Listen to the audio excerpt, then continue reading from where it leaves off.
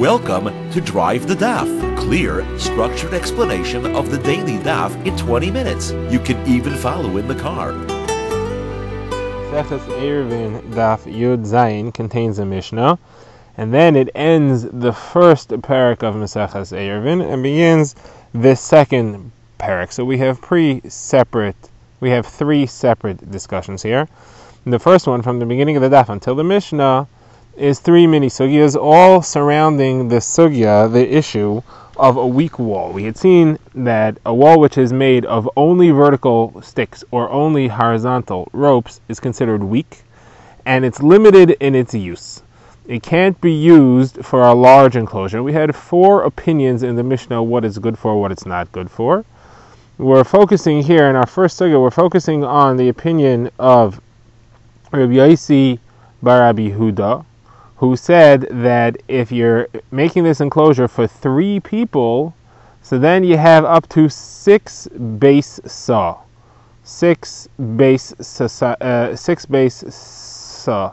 That is a beis sasayim, two saw for each person. You have three people, two saw for each, six saw altogether. This measure means the amount of land in which you could plant a saw of grain in which you could plant a two saw of grain, and that is about 5,000 square amas. So now the Gemara says that Rav Giddel said in the name of Rav that even though we have this halacha that for three people you, you, you could have a weak enclosure and it works for up until six base saw, but sometimes five will be no good. If you have an enclosure for three people, of five base saw, it'll be no good. You won't be able to carry that. And sometimes it'll be even seven base saw in that enclosure for only three people, and it will be good. So Gemara expresses shock about this. Gemara says, could it be there? I've said that. And Rav Giddel said, I'll swear to you on a Torah Navi Miksuvim that he said it. So Rav Ashi says it's not a kasha. It makes a lot of sense. What's the logic over here? When you say that three people get six base saw, that means there isn't an automatic number. Each person gets two base saw automatically. Each person gets as much as they need. Sometimes people will need more, and sometimes people will need less. When is it pasul? It's pasul if the enclosure contains within it a beis sasayim that's not needed by anybody. So now let's work through the cases. Let's say you have six people and they each need a beis sasayim. They each need two saw, 5,000 square amas, and you enclosed seven saw. Yeah, so you have one extra saw. So they each need, so six of them are needed. There's only one saw extra. That's not enough extra to puzzle the whole enclosure. It's only one saw extra and it's only possible if you have two saw in this enclosure that are not needed by anybody. So therefore you have seven saw enclosed, and it's not a problem, even though it's only for three people, because you only have one extra unused saw. How can you have five? That's a problem. Simple, I have three people, and they don't need a full base of sasayim each. Each one needs less. And I have an actual beis sasayim, two saws worth, which is totally unneeded. situation like that, this entire enclosure is pasul because you have beis sasayim in it, which is not needed. And Rav Ashi goes on to explain that it doesn't go by a person automatically. It goes by not having an unused beis sasayim within your enclosure. Whenever you have an unused beis sasayim within your enclosure, it's a psul on the entire enclosure. Okay, now the Gemara wants to know, let's say the number of people in this enclosure changed on Shabbos. Let's say one person died and another person came into the group. So now the question is, you originally had three people when Shabbos began. Now in the middle of Shabbos, the number went down to two people. Is it permitted because Shabbos started with three people and therefore the wall was good when Shabbos began? This weak wall was good because I needed all the space within it. and I had three people here who needed the space.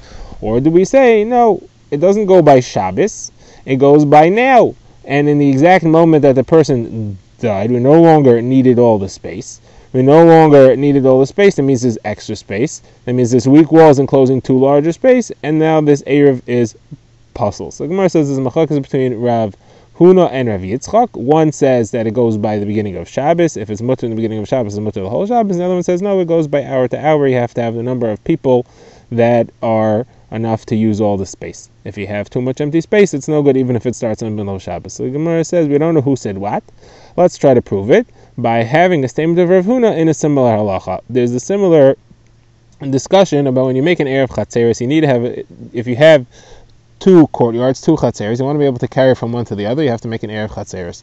In order for the eruv chatzeres to work, you need a doorway between the two chatzeres to exist. That doorway has to be at least four tfachim by four tfachim. So let's say you made an eruv chatzeres in the beginning of Shabbos, and in the middle that doorway collapsed or got stuffed up with rocks that fell. Now you don't have a doorway anymore. So you had a doorway in the beginning of Shabbos. You don't have a doorway now. What's it relevant? It's relevant if you have smaller windows. Can you carry through those windows or not?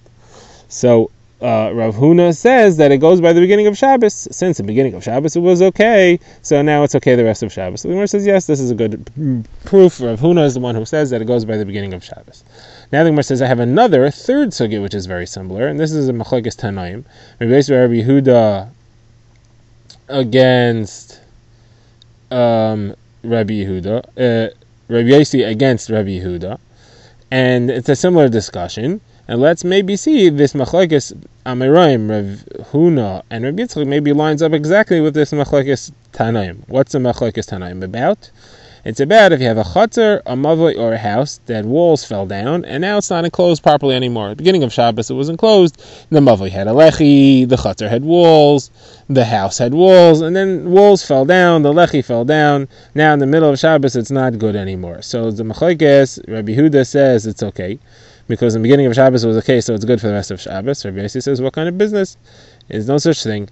If it's uh, if it would be good the whole Shabbos, then it'll be good forever. It's, it's not good. It's not good. It's not good. This Shabbos, it's not good. Next Shabbos, it doesn't mm, help you that in the beginning of Shabbos it was it was okay. So the Gemara wants to say so. This lines up with this machlekes Rav Huna and Rav Yitzchak. If the beginning of Shabbos makes it good for the whole Shabbos, the Gemara says no, it doesn't line up. The Gemara says no. Actually, each Amara fits with the opinion of the Tano. Seems to be opposite him. How so? Rav Huna will tell you, I fit even according to Rav Yossi. I say that when the when Shabbos begins, it's good. It's good the whole Shabbos. Rav Yossi will agree with me. The only reason in his case he said it's no good because the walls are gone. Mean, the walls are gone. He can't tell me that it's still good the rest of Shabbos. But in our case, the walls are still up. They're, they're weak walls, but the walls are up. The only problem is the amount of people became less, so that wouldn't be such an issue, and he would agree with me that that's okay. And Rabbi Yitzchak will tell you is that I say in this case that it's no good. Rav, even Rabbi Yehuda will agree with me that it's no good. In my case, the case where the number of people disappeared. The only reason why in his case he said that it's still good is because the people are still there. But here the people actually went and they disappeared and they're gone, and therefore he'll agree with me even in my case. Okay, now we get to the third discussion over here, and this is a brief one. In our Mishnah, we had four opinions as to uh, what a weak wall that's made of only vertical or only horizontal slats, what is that good for? And the first opinion, and the fourth opinion seem to be the same. What was the language? The first opinion um, was the Tanna Kamma, and they said as follows. They said that when the Mishnah said that you're allowed to use a weak wall for a caravan. It was Lav dafka caravan. It wasn't specifically three people camping in a caravan. Not specifically. It could be used for anybody. And what's the language of the fourth opinion, the Chachamim? They say that a, a, a weak wall, which is only vertical or only horizontal, is good in all scenarios. So all you need is one, either vertical or horizontal. You don't need to have both together. So it seems like the same opinion. Where says there's a difference. The difference is what happens when you have one person who's in a city. He's not out camping in the in the field. The Tanna Kamma said that it's good when you have three people camping in the field, lav dafka three people, even if it's only one person camping in the field. Ah, but that's only if a person's camping in the field. If you have someone who's in the city and he could make a normal wall, and he goes ahead and he makes a weak wall, that's no good. And on that, the Chachamim would argue, they would say, no, that's good even even inside the city. One person is good, it's not a problem. All scenarios, it's okay. But that's the difference. One person in the city, that's where they would argue. We now get to the last Mishnah in the parak, and coming on the heels of the Mishnah which discussed a caravan which camped in the field, this Mishnah discusses the halachas of soldiers who are camping in the field and special leniencies that they have. One of them is related to a Reuven, but the primary subject will go afield. The Gemara will discuss the special leniencies for soldiers, why it's special for soldiers, and where it comes from. So the Mishnah says that there are four special lachas for soldiers that are on the way to fight. First of all, they are allowed to steal wood, allowed to take anybody's wood. They do not have to wash Netilas Yadayim. They are allowed to eat Demai. Demai is food which is bought from an Amara, somebody who we suspect doesn't take a Meiser. And Midrabanon, we're obligated to take Meiser from it again. We can't eat it until we do. That Isser Darabanan doesn't apply to soldiers. And they also do not have to make an Eruv. The Gemara will clarify what kind of Erev. So before going further, the Gemara brings a brisa which has similar halachas. The brisa says soldiers on the way to war are allowed to steal wood even dried wood. Um, Rabbi Yehuda ben Tema says they're allowed to park themselves and camp wherever they want, even on private property. And the third halacha that the Brisa brings is that where they are fallen, where they are killed, you bury them right there in that spot, and they that land becomes their grave, even if it's private land. So Gemara asks that a number of these halachas aren't specific to soldiers. Yehoshua ben Nun made a few takanas he made 10 takanas, and these three are included in them. It applies to everybody. What are those takanas? So he said that you're allowed to graze your animals in somebody else's forest. Nobody plants in the forest. You're allowed to graze there. So um, that was one thing he said. He also said you're allowed to gather wood from somebody else's field because you don't have to worry about stealing the wood. So what's the chiddush that the soldiers are allowed to steal the wood? So the Gemara gives three answers. The Gemara says Yehoshua only said it about thorns and thistles here, we're talking about actual branches are allowed to take. Or maybe the answer is is that um, Yehoshua only said you're allowed to chop wood, but to take already chopped wood you're not allowed, but soldiers are allowed. Or maybe Yehoshua said you're only allowed to take moist wood, but already dried wood, which the owner invested effort into, you're not allowed to, but soldiers are allowed to. The next thing is Allah Yehuda ben Tema said that they are allowed to uh, be buried wherever they are killed. So Gemara says that's obvious also. A soldier who is killed in a war is a meis mitzvah. And the halacha is that a meis mitzvah is buried in the spot where he falls. He owns that land. It's given to him, and you're allowed to bury him there. So why should what's the special chiddush for soldiers? So Gemara says no, we're referring to soldiers who's not a meis mitzvah. A meis mitzvah is defined as somebody who there is nobody who's willing to bury him. There are no inheritors there are no ears, and they're not going to bury him. But this soldier has people who are happy to bury him, therefore he's not a meis mitzvah. Okay, now the Gemara asks, is it really true that a meis mitzvah is buried in the exact spot where he falls? We have a brisa that says you're allowed to move a meis mitzvah to somewhere else. The brisa says if you find a meis on the road, you move him to the side of the road, left side or the right side. If you find him in uh, on the line between a planted field and a field that's going to lie fallow, you bury him in the fallow field. If it's a field that's already growing and a field that's just plowed, you bury him in the plowed field. If it's on the line between two fields that are the same, you can move him to whichever field you want. So you, see, you're allowed to move him a meis mitzvah. So how can you tell me that it's in the spot where, that he falls, he owns? So my answers is this, the situation here was where he fell on a road and the the the fields case was also there was a road between the fields, and you don't want a meis buried on the road because then kahanim won't be able to travel there. And therefore, you're allowed to move him. Now, once you're allowed to move him, you're allowed to move him to whichever field you prefer. Okay, back to the Mishnah. We had seen that the halacha was that they don't have to do netilas yadayim. Abaye says that's only mayim rishonim washing before bread. However, mayim acharonim washing afterwards, that is obligatory. Everybody's obligated to do that, even soldiers. And the reason is because that in salt, in every uh, container of salt, there's a little bit of melach sidimus, salt from sidim, which is very painful to the eyes. It causes blindness if it if it would get into the eyes.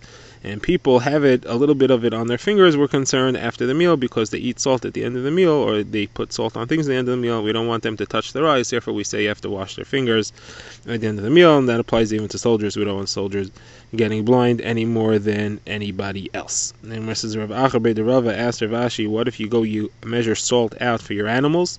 Does that mean you have to wash your hands also? And he said, no, it's only after a meal you have to wash your hands. Okay, next law in the Mishnah was that they are eat demai.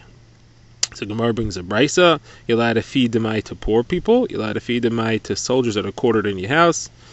And Rav Huna says, no, no, no, this is not exactly how it was. It's not just a straight up Mishnah. It's actually Machlokes Beishamay and Beis Hillel. Beis Shammai says you're not allowed to do these two things, and Beis Hillel says you are allowed to do these two things. Next, Allah in the Mishnah was that they the soldiers do not have to make an Eruv.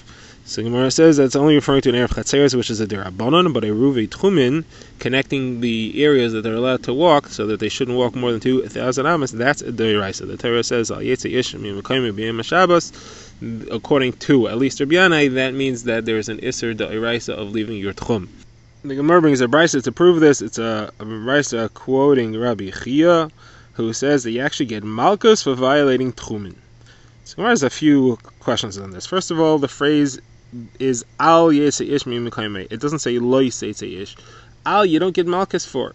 So Gemara says first of all, al you do get malchus for, like it says al tifnu al oives val yudainim. Don't go to witchcraft and sorcerers. That you certainly get malchus for that. So the Gemara changes the question. The Gemara says no, you can't get malchus for al yetze ishmim kaimei. The Gemara understands that the phrase is meant to be al yoitzi ishmim kaimei. A person should not carry on Shabbos. So you can't get malchus for that because carrying is something which has a chiv misa. You get skila for carrying on Shabbos. You don't get malchus if you get skila. So Gemara says no, it doesn't say al yetzi. It says al yetzi. It's not an isser of carrying that's being referred to here. It's referring to just going outside the tchum. And that is the end of Perek Mavoi Shehu Gavoah. Now we start the next Perek, which is Perek Oisin. The Mishnah discusses the halachos of travelers on the way to Yerushalayim who needed to stop in order to collect water. Uh, and the problem was is that they often stopped on Shabbos, and the water at the bottom of a well is is in a rishus hayachid because the well is four tefachim wide and it is more than 10 tefachim deep. Now, the outside of the well, the ground around it, is a Rishus Harabim. So to draw water out of the well and feed the animals or feed themselves outside of the well is transferring from a Rishus to a Rishus Harabim. So they had trouble getting water. So Chazal made a special takana that they're allowed to make a very rudimentary wall around the well, and that'll make that entire area within the wall into Rishus Yachah, and they're allowed to draw water out of the well to within those walls. So this Mishnah discusses how those walls were made, what they needed to look like, what is the minimum that you could use for them, how big they're allowed to be, how small they're allowed to be, and how uh, what the dimensions of the boards are. So the Mishnah begins and it says that you don't have to make a full wall. All you have to make is four corner pieces. That means that you set up a square around the well, but you don't need to fill in the entire square. You just put in the corners. You set up four L-shaped pieces in one in each corner and the corner pieces, each leg of the corner is an amma wide. It is at least 10 tefachim high, and it could be any thickness. Uh, Rabbi Huda says it that way. Rabbi Meir says you have to put in uh, four more flat pieces between the corners, meaning along the sides of the square, not just the corners, along the sides of the square, you have to add another four flats, one on each side. The Gemara will explain why and wherefore he needs those. Now, how far apart should these boards be? The corners, or the spaces between the corner and the flats, according to Rabbi Meir. So the Gemara says, Machlaik is here. According to Tanna Kamma, it should be enough for two stalls of animals with three cows in each, which is a total of 10 amas. According to uh, that's Rabbi Meir again, and according to Rabbi Yehuda, it's it could be enough for four animals that are tied at bunch close to, together but are loosely enough that you can move one in and out. And the Gemara will explain that that's 13 and a third amos. Now, how small is this enclosure allowed to be? The Gemara says it could be as small as you want it. Just make sure there's enough room for your animal to come in to the enclosure, at least his head and the majority of his body, in order that he's able to drink from water that you take out of the well. If it's too small than that, we're afraid you're going to end up moving the water to outside this enclosure, and that would be carrying and defeat the purpose. Now, how far, how big is this enclosure allowed to be? So this is again a machlokes between uh, the chachamim and Rabbi Huda. The chachamim say you can go as far as you want. So to make sure that the gap between the boards is not more than 10 amas or 13 and a half amas, depending who you hold like. So therefore, if you're going to make it a very large enclosure, you're going to need to add more sideboards so that the gaps aren't too big. According to Rabbi Yehuda, there's a limit here. It cannot be bigger than a beis sasayim. That's the size that we had for weak walls and all kinds of other weak enclosures, which is 5,000 square amas. So now the Gemara says, well, what was the conversation between Rabbi Yehuda and the Chachamim? The Chachamim said, listen, a base of is only for an area that you're not really supposed to enclose, an area which doesn't serve a purpose for people or animals to live in or do home functions, such as a storage place where they used to keep the wood. That's a karfef or a gina, a field. That's not really a place where you live. That's where we set a limit of 5,000 square amas.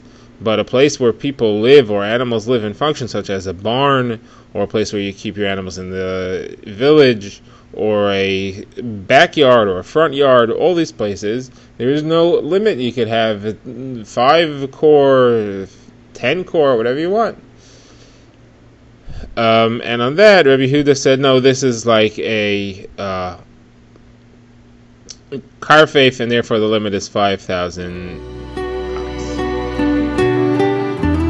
Drive the Daf is a project of the Grand Woodlands Shul and is presented by Rabbi Yitzchak Landa. Find us on YouTube or subscribe to daily emails by emailing drivethedaf at gmail.com.